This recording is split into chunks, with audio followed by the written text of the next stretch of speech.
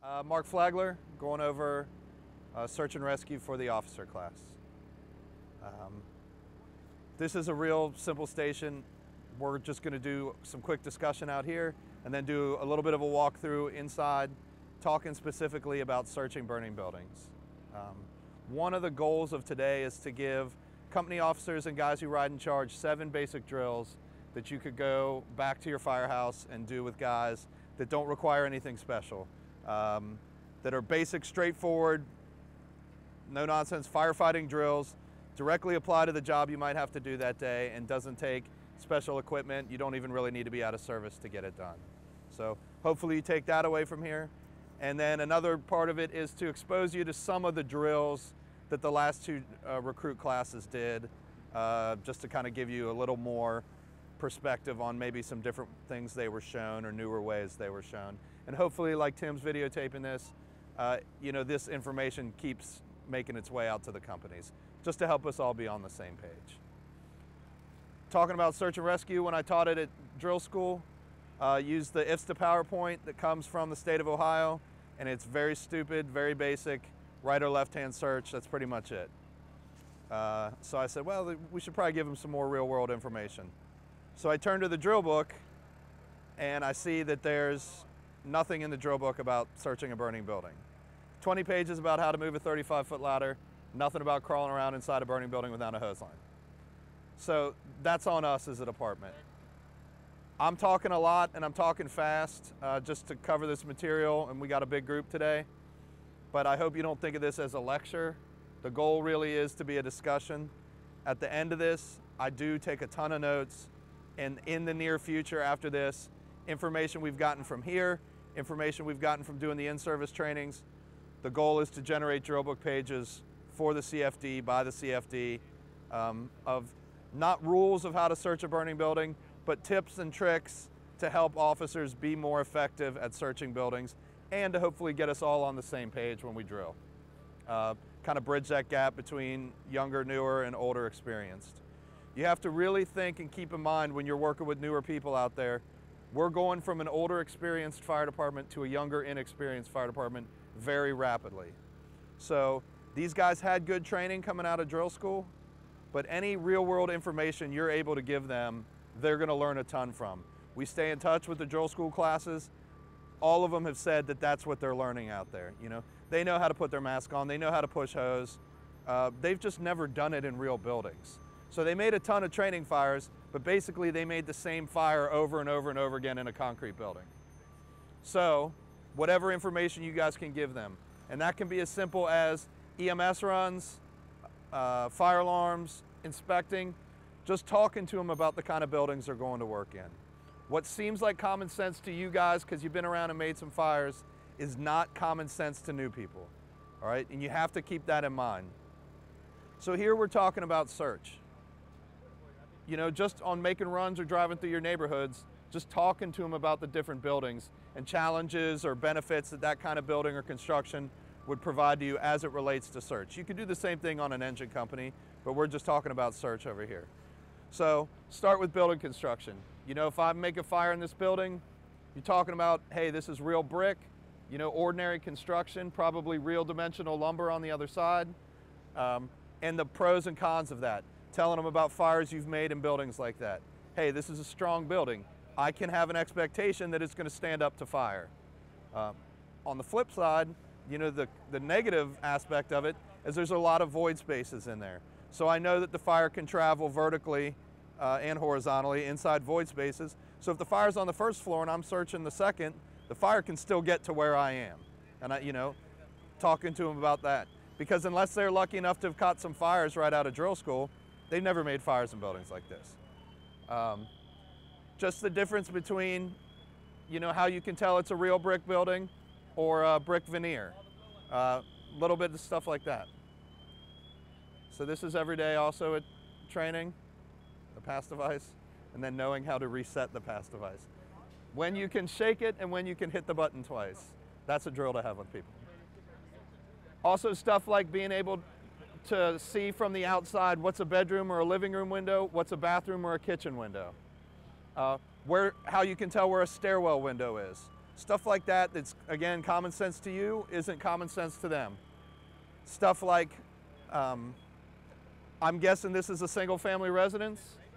If this house is in Oakley or Hyde Park, it's probably still a single family residence. I drive two miles down Madison Road in Evanston, this is probably two or four family now. How I can tell that from the outside.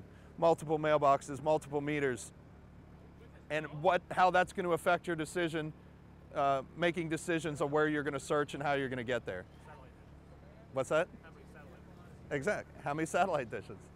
Because if they've chopped this up into a multi-dwelling, I can expect it to be cut up more inside. I can also expect that the front door might not get me to the second floor. You know, things like talking to um, fleeing occupants. Hey, is there anybody in there? Hey, how do I get to the second floor? You know, trying to get that information so that we can make some decisions about what we're going to do inside the building while we're still outside of it. Talking to them about uh, being able to read smoke and fire conditions. We're lucky if we pull up and there's fire blowing out of a window. Our job's pretty straightforward. Uh, if, but a lot of times we pull up, there's just smoke showing. So the CFD does have a YouTube channel um, with a lot of these videos loaded onto it. Or you can just type in fireground size up, reading smoke, whatever into YouTube. Now that the weather's getting kind of nasty, you might not want to drill outside and just play those videos and have discussions around the kitchen table. Hey, if I saw that, I'm thinking this, and I would do X, Y, and Z based on that. Uh, you know, there's thick black smoke on the right side of the house, lazy light colored smoke on the left side of the house. I'm guessing the fire's on the right side. Also, uh, something I never did till I worked with Shaw every day is you can use the thermal imager to help you size up the outside of a building, uh, a house, an apartment, whatever. I'm not talking about a 20 minute detailed analysis. But as you're walking up to this building, if you scan across with the camera real quick, you will see heat through windows. So if the window on the right side is white, windows on the left side are dark gray, it's just another tool to say, hey, I'm guessing when I get to the top of the stairs, I'm gonna go to the right side of the house. Make sense? We wanna search to find the fire and then search back towards the exit. All the books we re read for promotion, uh, our procedures say you want to start your search as close to the fire and work back towards your exit. Problem is, all of us were trained to search right or left hand search in empty buildings. That's how we were all taught. So if the fire's in the back of this house, the absolute slowest way for me to get there is to glue myself to a left hand wall and work all the way around back towards it. There's nothing wrong with right or left hand search. It's safe and it's effective. It's just very slow. You also almost never see guys actually doing it inside a burning building. So we'll go inside here, um, look at the layout a little bit and just talk briefly about some ways you can find the fire, start your search there, and uh, then we'll be done. Uh, inside here, um, talk just a, a little bit about stuff we went over in drill school and just some tips. Hopefully, like I said, if this jogs any of your memory, uh, something that works for you, or you just hopefully continue this conversation back in the firehouse. At any time, if questions, comments, good ideas, things to watch out for, uh, everyone is encouraged seriously to email me, and then hopefully some you know information comes out. We all edit it a couple times, and it comes out into something the chiefs are cool with, and hopefully that we all agree on. Um, so I think whenever, this is just opinion here and it's open for discussion, I think whenever possible, we're better off if conditions allow the truck to search ahead of the engine. Um, now, again, that's entirely dependent on conditions and where you're located. You know, if you're engine 8, that's never going to happen for you. Uh, but, you know, the 9s with the squad in the house, the 32s, the 19s, yeah, 23s, yeah. As long as that fire allows the truck to get in there ahead of the hose line, you know, the truck should be moving quicker. The engine's dragging 250, 350 feet of hose, flaking it out, getting water. While they're doing that, we're hoping the truck can get in there ahead of them. Two reasons for that. One is to find the fire and communicate that location to everybody else on the fire ground, either on the radio or it can be as simple as yelling back down the hallway, hey, hey, nines, it's back here. You know, and, and I, you hear our guys doing that.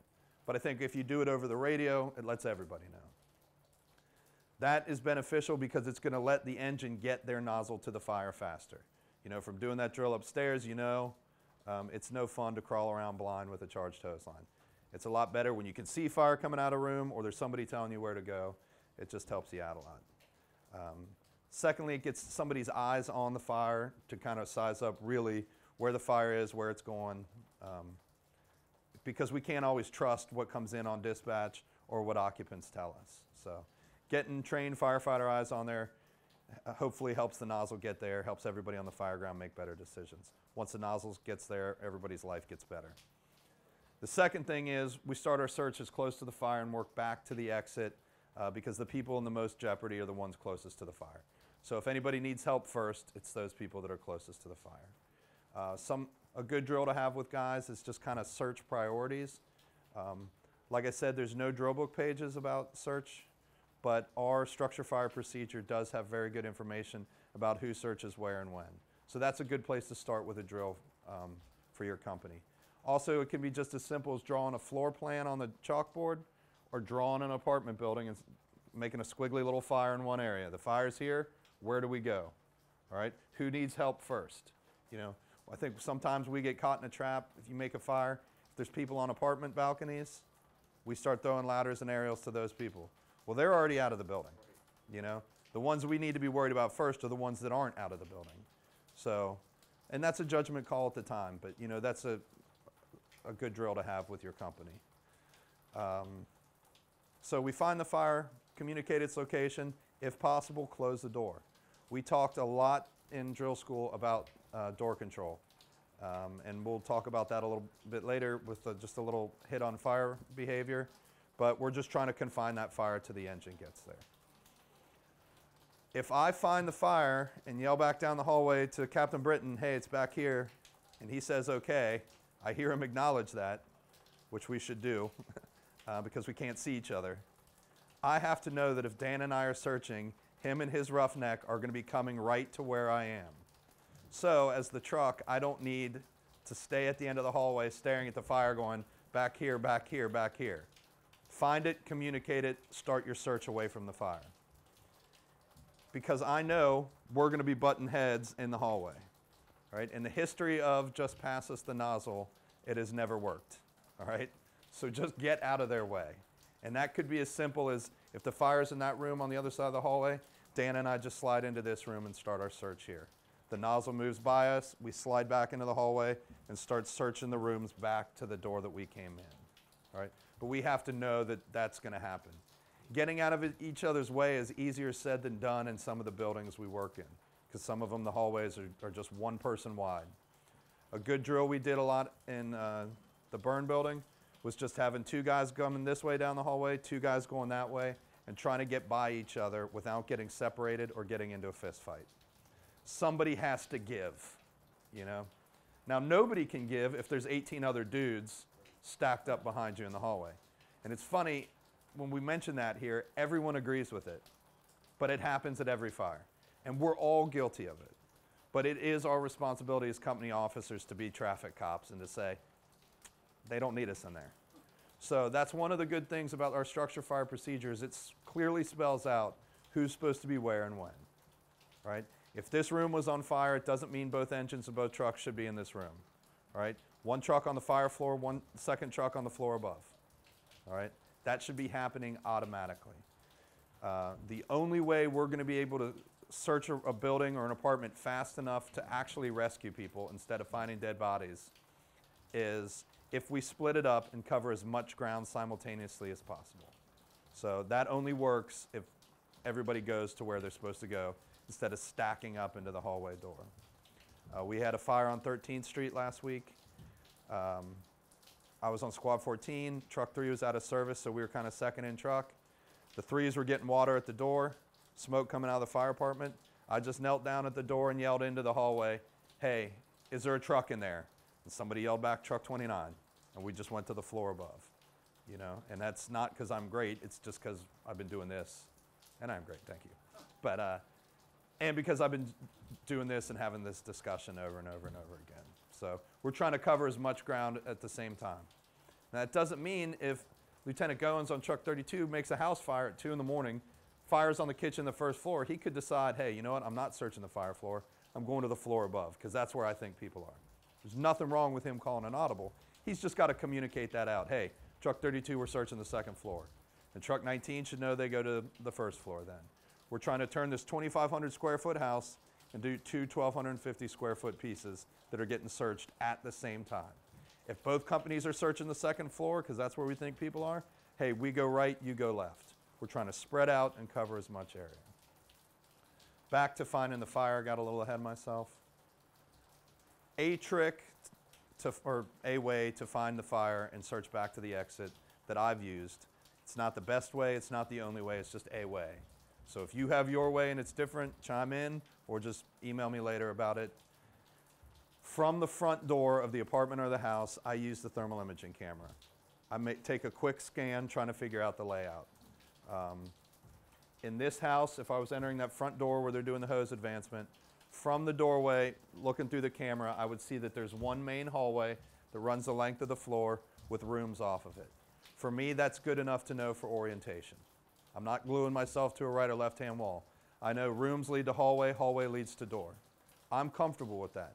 Some people aren't, all right? Some people might need to be glued to that right or left hand wall.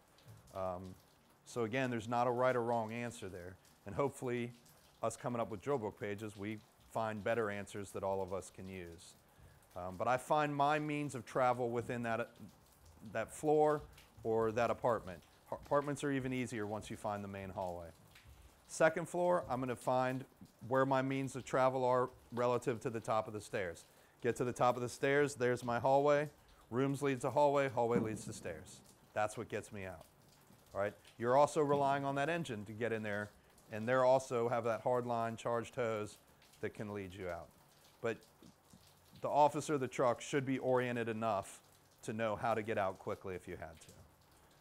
Um, once I find my means of travel in that space that I'm going to search, I'm going to also look up at the ceiling level with the camera, right? Trying to see heat moving at the ceiling level. If you've used the camera a bunch in some decent fires, have you ever seen that? Looks like white waves. It's like a ghost kind of rolling across the ceiling. That's convected heat. The camera's just seeing hotter air through the smoke. It's not always going to be there, but sometimes it is. If you see that, that's a good visual indicator that if the waves are coming, the white waves are coming this way, the fire's the opposite direction. Hopefully this spring we can do some more live fire training because we haven't had thermal imaging training since we first got the cameras almost 20 years ago. But there's a lot of stuff we can do with that. Those 10 seconds lets me see the layout before I lose my visibility and hopefully gives me some indicators to where that fire might be. I'm going to search straight down the hallway, skipping rooms that aren't on fire till I come to the area that is on fire. Find the fire, close the door if possible, communicate that to the engine. Start searching back towards my exit. Again, like I said, if it's me and Dan, we're going to slide into this room to search while the engine company pushes the hose line past us. If we're going to search this room from the doorway I'm going to start with a quick scan of the camera. If I don't see a body, I don't see fire, and I don't see anything like a hole in the floor, I'm going to say, hey, Dan, search around to the right. There's a room to the left. Meet me on the left wall. The camera does not replace searching. We do a quick scan, but Dan's still doing a tried and true search, checking areas I haven't seen with the camera. As he crawls around searching that area, I search through here, go to my next doorway, start scanning that room. Um, how far we're going to spread out from each other is going to be based on how bad the fire conditions are and how much I trust Dan. Uh, you know, if it's you and a new person, you might stay a little closer. You and a guy you've made some fires with, you're going to spread out a little bit. The three ways of staying in contact are physical, visual, or verbal. So the fire conditions, your working relationship with your partner is going to dictate that. I think most of us are comfortable with verbal. We can still talk to each other, we're okay you, st- you start losing the ability to communicate, you have to know to stop and go back to where you were till you can start communicating again. Those are easy drills to do in the bay of the firehouse, the basement if you have one. Hood over, you know, how far is too far? There's no definition for that. You know, it's can you talk or can't you talk? But those are good things to drill on ahead of time. Um, and again, on fire conditions, how serious the fire conditions are. The way I've always thought of it is when you're on the engine, you tell the fire what to do. When you're on the truck, the fire tells you what to do. Um, you don't have that hose line, you're a lot more reactive. If I was concerned about fire conditions, Or I was concerned that the engine was taking too long to get a nozzle in there. Hey, you know, those little warning bells in your head. Hey, it just doesn't seem right. I'm hearing Captain Britton call for water over and over. I'm hearing him call out and say, hey, we need more help pushing hose up, you know, blue hose up the stairwell. Those things that let me know he's delayed out there. I might stay in the doorway. Dan's still doing a search. I stay in the hallway communicating with Dan and also using the camera and my senses to keep an eye on fire conditions in the hallway, the rest of the house, wherever you are. Um, that is in the IFSTA books called Oriented Man Search. But the one thing I would say is if you are staying in the doorway to keep an eye on your partner and fire conditions, slide into the room. Don't stop in the hallway. We have a bad habit of stopping in hallways and stairways, two places we shouldn't stop. All right, keep those uh, avenues of travel open for everybody to use. So if you can just slide in just a little bit, we're not, you know, when they do get water, we're not going to be in their way. Um, and then if one guy's searching and Dan comes back to me as we get, start working down the hallway, he can stop at the doorway and keep an eye on things, and I can go in and search, and Dan can catch his breath for 20 seconds, and then we just leapfrog our way down the hallway.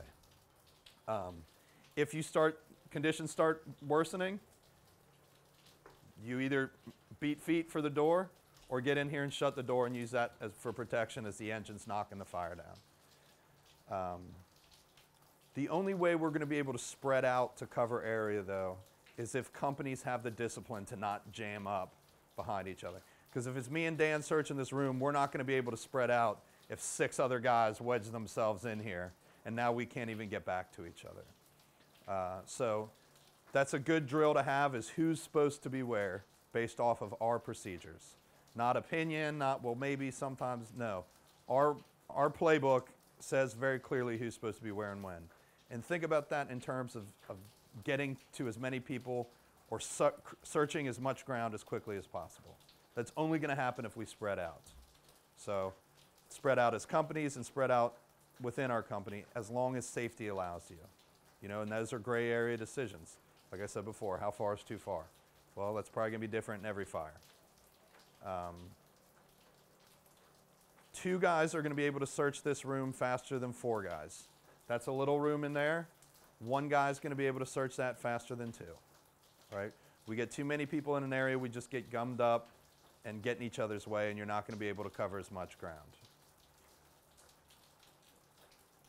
Also, with talking to guys about search, especially newer people, really hammer into their heads about paying attention to fire behavior. Even if a charge hose line's on the floor, if you don't have it with you, you really have to pay attention to conditions, what's going on around you. Uh, that's definitely the company officer's responsibility, but everybody has a vested interest in not burning to death. So everybody should be paying attention.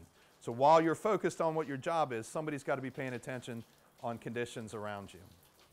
Um, with the NIST and UL studies and all these scientific things that came out, to me, nothing that they came out with was earth shattering. But what it did define very clearly was fires just burn really fast. So in a home, everything we know is synthetic furnishings, it just burns quickly. If the windows haven't failed and no one left the door open, that fire is going to be ventilation controlled it's not going to be able to draft fresh air in from the outside fast enough to free burn, right? Because that's how fast it burns. It eats up the air in the room, the apartment, the house faster than it can draft it in from the outside. So that fire still has fuel, still has heat. It's just not getting enough air to burn freely. We get there, open a three foot by six foot or whatever it is ventilation opening. We're gonna dra- it's going to draft all the fresh air in it needs and it's going to light up. It's not going to explode like a backdraft. It's just going to light up and start free burning quickly, and it's going to come directly to the giant ventilation opening. I mean, that's going to happen every time. If we had a fire in the back corner, all other doors and windows are closed, and we open this door and leave it open, 90 seconds, two minutes, it's going to be rolling out that door. So if we're searching ahead of the engine on the truck, as they're flaking out their line and getting water, we should give thought to closing the door behind us. It's another reason why it's better to force the door than to beat it off its hinges. Right? We can maintain some control with this door. I'm not talking about slamming it closed. I'm talking about just choking it back, maybe three quarters of the way. If I'm worried about it latching again, you can just leave your tool handle in there. But that's a good thing for the engine and the truck to have talked about ahead of time. Hey, Cap, we're going to be, if we go ahead of you, we're going to close the door ahead of us. Don't freak out. Okay, cool. I, now he knows what I'm doing and he knows why I'm doing it. I'm closing this door to limit the fresh air supply coming into that apartment, trying to keep it choked back while I'm searching. The engine's not really worried about it. Um, as they're coming in, if it starts lighting up, well, they got a hose line. They can knock it down. It also, if you're in a multi-dwelling, limits smoke spread in that common hallway, right? Because those people still in other parts of the building trying to get out don't have SCBA's. It's just something to think about. Um, there's a ton of information out there on that if you want to YouTube drill that as well. The same way with breaking windows. We don't want to break windows until we have a charged hose line in place to control the fire. There's nothing wrong with opening doors and breaking windows. We just have to realize that the fire is going to get fresh air and it's going to get bigger or certainly uh, start free burning. So be ready for that. Have a charged hose line in place. Um, because there's still going to be heat and smoke venting out that window. But as that's happening, it's sucking fresh air in a lot faster so that the fire can get bigger. Nothing wrong with ventilating, opening windows, opening doors. We just have to be ready for it. It's got to be coordinated. And that's a good thing to talk about between engines and truck. Hey, when are you going to break windows? When are you not going to break windows? Um, the recruits or the probationary firefighters should be pretty cool with that because we hammered that into them in drill school. Um, they saw the effects of opening windows and doors on training fires. Any of us could run the flashover simulator right now um, with no training. You line the back of it with OSB and you start a fire in a burn barrel. You leave the door open until it starts burning pretty good. Slowly pull the door closed. You see it glowing back there. You see it drafting in air, but it's choked back. You wait till it gets decent heat where your ears start getting hot. Slowly open the door. It lights up through the smoke out the door. Pull the door closed, and it goes all the way back to pitch black in under five seconds. Let the heat build up till your ears start to burn. Open the door, it lights up through the smoke and all the way out to fresh air. And we do that over and over and over and over and over again until we run out of fuel. And just showing new people, hey, it is nothing more than opening and closing a door 20 feet away from a fire. Has that profound of an impact on it. So hopefully we get to do that flashover training again in the spring too. So, thirdly, with fire behavior, really hammering on people that smoke is fuel. The smoke itself is flammable. So if things start to go bad, you start to see flashover indicators, you need to get out right then. If you don't have a hose line with you, you got the hose line with you, open it and leave it open. Cool that area down. You don't have a hose line with you, you got to get out, or, or, at least out of that compartment into the next room and shut the door closed so the engine can push the nozzle down there. Because it's not going to be like the flashover videos we all saw in drill school, where each thing off gases one at a time and then starts lighting up. When the room lights up, the smoke around you is going to catch fire. Um, and you don't have very long. It's like five to seven seconds, I think.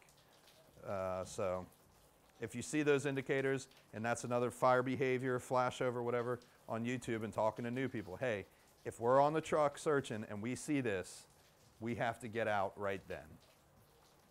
Makes sense? Talking about vent enter search. Um, somewhat uh, new to us, so not everybody's comfortable with it, um, but it is in our procedure. It is in the structure fire procedure. It is a tactic, right? It's not the only way, it's not the best way, it's a way to search areas that you couldn't get to if you're cut off by fire. Uh, you don't have to use it at all. You could use it at a fire today. I mean, it's on, it's a judgment call kind of thing. It's high risk, but high reward, hopefully. Um, the two times I would definitely use it is if I wanted to search an area but I couldn't get to it because of fire. So if this whole floor is on fire and this room is windows intact just showing smoke, but hey, that's the only area I can search, I'm going to come in, use that door for protection, and search whatever I can using the door to protect me from the fire. Vent enter search doesn't mean going through a window and then just searching the whole floor of the house like normal. It means you're getting in there and using that door to isolate this area from the fire. So the two times I would use it is if I couldn't get to a room because I'm cut off by fire. The whole first floor is on fire. I can still search rooms on the second floor off a ladder going in and out, going in and out, in and out off of ladders. The second time would be if I have a credible report of a viable victim. So if I pull up and it's not like, well, Mr. Jones is usually home. No, if I pull up and someone says, my grandfather is in that window right there, that to me is a credible report. And then if there's fire blowing out the window, he's not a viable victim. Right? There's nothing I can do. Um, but if they say, hey, my grandpa's in that window right there, the window's intact, smoke showing around the window edge maybe, I'm going to give it a shot. If I'm going to give it a shot, I need to communicate to command. I'm going to vent enter search off of the C side second floor because he needs to know that he has people entering opposite the hose line. Um, it is a dangerous place to put yourself. If the rest of the house is on fire, I break out this big ventilation opening to put myself between the fire and where the fire wants to go. That's a dangerous place. I'm doing it because I think a human being needs to be rescued from this space. Hopefully, there's two of us. If it's me and Dan again, I'm to say, hey, Dan, throw a ladder to the window. Dan's going to grab a 14 foot hook ladder, come right to the second floor window. When he places the ladder, you want to put the tip at the sill or just beneath it. Because I'm want to stay low getting in and out of this window. And if I find a victim, as much as the ladder's up in the window, it's just going to make it harder to get in and out. We're just going to get hung up on fire clothes, our mask straps, whatever. Um, and certainly if we have a victim. While Dan's throwing the ladder, I'm masking up. As soon as I'm masked up, I get to the top of the ladder. I do not break this window till I'm ready to make entry. When I break the window, I break it out, clear the sash, you know, open the whole thing up. As soon as I break the window, I got to be ready to get in. Reach over the sill, feel for a victim, feel for the floor. No victim, the floor is sound. I slide in on my belly as low as I can stay in the window, because if it is going to light up, it's going to light up up high first. As soon as I hit the floor, where's my move? To the door. Where's the door usually located in relation to a window?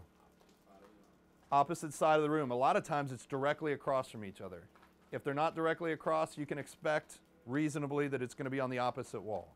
And that's for natural ventilation. Um, the same thing that makes your house nice on a spring day with the windows open works against us in a fire. It's a straight shot. Shut the door. That door is my isolation. It protects me from the fire, buying me enough time to search back to the ladder. If, or, or the first floor, you can do it on the ground floor too. Um, I get back to the ladder, I haven't found a victim, out I go. While I'm doing this, my partner can either be at the top of the ladder, using the camera to keep an eye on me, shining a flashlight for me, talking to me, whatever, or they can stay down at the bottom of the ladder if they have to butt it, if I'm on concrete or blacktop or something. When I come out of the window and down, Dan should have been getting masked up while I was searching this. We can take the ladder, slide it to the next room over. Now Dan, who's rested and ready to go, goes up. I stay down here, catch my breath. If this whole, and then come up and be his oriented person at the windowsill. If this whole first floor house of this house was on fire, four guys from the first two truck companies could cover these rooms off ground ladders pretty quickly. Um, you know, and the whole time the engine's knocking the fire down, and we're still going to try and get up there normally. But until that's safely possible, we're just going in and out of the windows, searching what we can, using the door for protection. High risk, but high reward, hopefully. Um, it's remember, it's a tactic that can be used. It's in our procedures. It's an easy drill to do at the firehouse as long as you have a window that opens. Or it can be as simple as taking a table in a doorway, turning it over to kind of make like a little fake windowsill and having your new guys go in and search the weight room or whatever and then come back to you. And that's a good way too for you to kind of get an idea of if, if these new people are comfortable crawling around by themselves when they can't see. So easy drill to do at the firehouse. Um, but also to hammer into them about fire behavior. This is a dangerous place to put yourself. But some guys from Squad 14 did it about six weeks ago on Sycamore Street downtown, and there's a little girl alive because they did it.